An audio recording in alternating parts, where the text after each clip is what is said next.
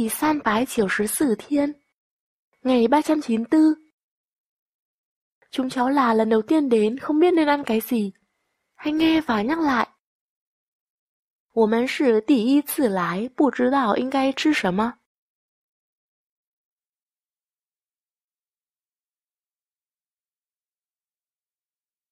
我们是第 一。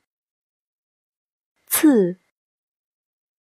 来，不。知。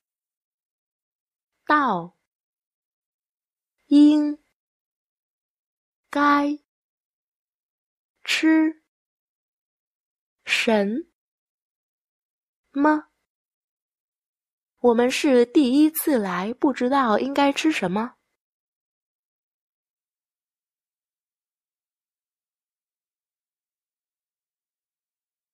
我们是第一次来，不知道应该吃什么。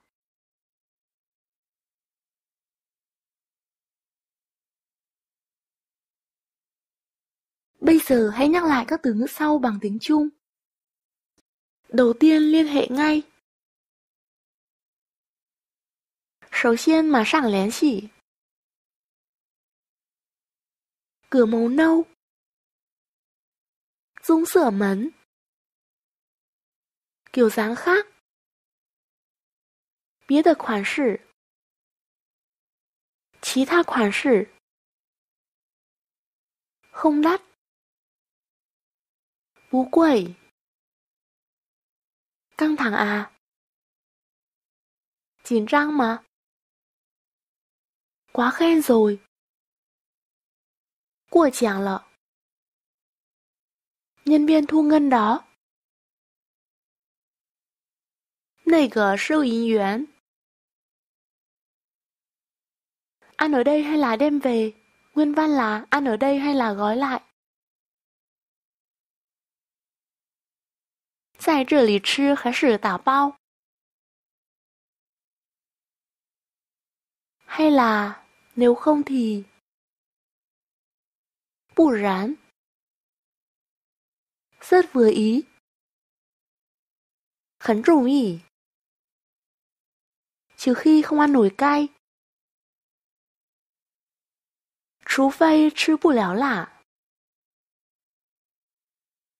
Xem lại xem. Giải khản khản. Đếm thử xem. Sú ỉ sú. Quay lại mua. Khuấy thấu mãi. Nghe theo em. 听你的 đi ngược lại quay ngược lại 往回走 đặt chỗ 预定位置 chỉ có cuối tuần và các ngày nghỉ lễ. Chỉ 有周末和节假日. Vì để bảo đảm. 为了保险起见. Chỗ sát cửa sổ. 靠窗户的位子。bà chủ 老板娘